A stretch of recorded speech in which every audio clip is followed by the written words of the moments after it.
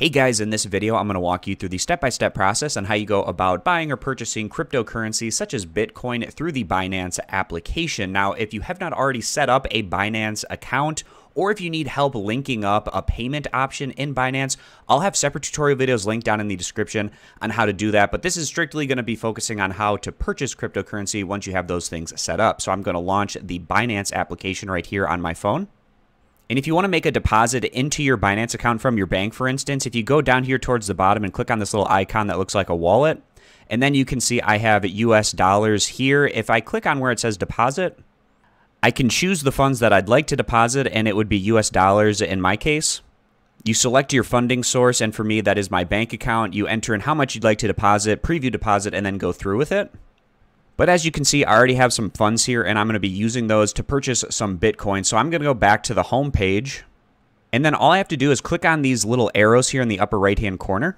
And this gives us a little pop-up where we have the option to either buy crypto or sell crypto. So I'm going to be buying crypto, clicking that right here.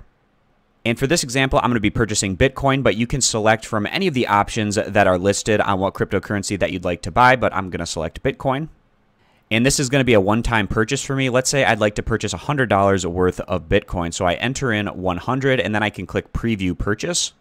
And then you're going to have about a minute where you can check over everything to make sure it looks good. You have the payment method, the purchase type, the price that you're getting Bitcoin at, the fee that's associated with this, and it's just a 50 cent fee, not too bad, and then the total amount 100. So then I can click confirm purchase at the bottom. And then it says purchase in progress. Your purchase order is being processed. A confirmation email will be sent once the order is complete, so I can click OK at the bottom.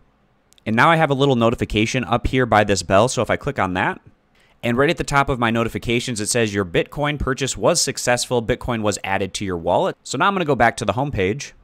And to check on my Bitcoin, I can just go down here towards the bottom and click on the little wallet image. And to check on my Bitcoin, I can select the Bitcoin option in my crypto balances. And I can see in my transaction history that I bought Bitcoin and it lists it right here. So I hope this video was helpful walking you through the step-by-step -step process on how you go about buying or purchasing cryptocurrency such as Bitcoin through the Binance application. I appreciate you guys stopping by. Consider subscribing to the YouTube channel and I'll catch you back here next time.